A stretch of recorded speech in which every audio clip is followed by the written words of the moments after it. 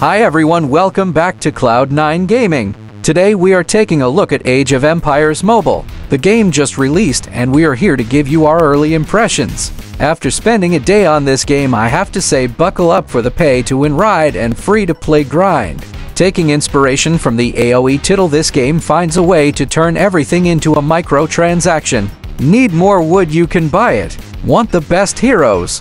Well you can buy those as well. Really, there is nothing you can't buy. As a free-to-play player, you will have to stay on top of your daily quest and events to help you keep up, but it is very doable. In fact, just because you can buy everything doesn't mean you have to. It is definitely set up to be a cash cow, but it is also set up for the casual player who might think about a purchase down the road just to support to developer. It is never easy to find that balance. The game itself is really good. Might be a game of the year type contender for mobile gaming.